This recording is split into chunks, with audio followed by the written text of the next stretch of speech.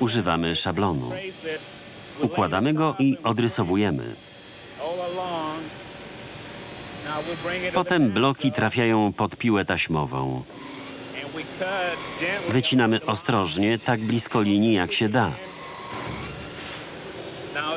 Teraz wygląda jak Les Paul. Gibson to jedna z tysięcy fabryk instrumentów na świecie, w których drewno używane jest na skalę przemysłową. W Niemczech ze świerku sitkajskiego powstają fortepiany Steinway. W Japonii z tanzańskiej kostrączyny czarnej korpusy klarnetów Yamaha. Na całym świecie eksportuje się sprzęt muzyczny o wartości prawie 7 miliardów dolarów rocznie.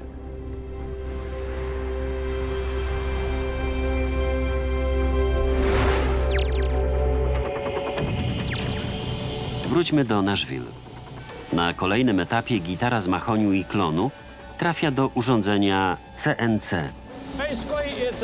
To wielka frezarka sterowana komputerowo. Obsługuje ją doświadczony pracownik Tej Droysen. Umożliwia wyrzeźbienie kształtu i wywiercenie otworów jak za pomocą warsztatowej wiertarki pionowej. Frezarka tworzy kształt korpusu i wycina otwory w ośmiu gitarach jednocześnie.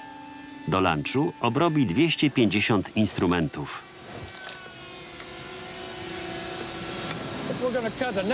Wycinamy gniazdo gryfu i otwory na pokrętła oraz przełączniki. Następnie obracamy korpus. Cykl trwa około 6,5 minuty.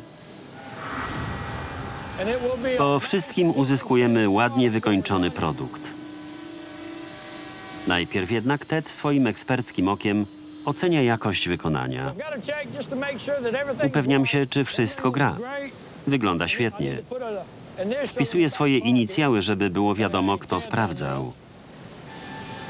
Ustawiam je na palecie i wysyłam dalej. Potem ładujemy kolejną partię materiału i zaczynamy od nowa. Trzeba dbać o jakość. Nie śpieszymy się. Wszystko musi być jak należy. I to za pierwszym razem. Dzięki nowoczesnej technice wytwarzanie gitar trwa krócej niż kiedykolwiek.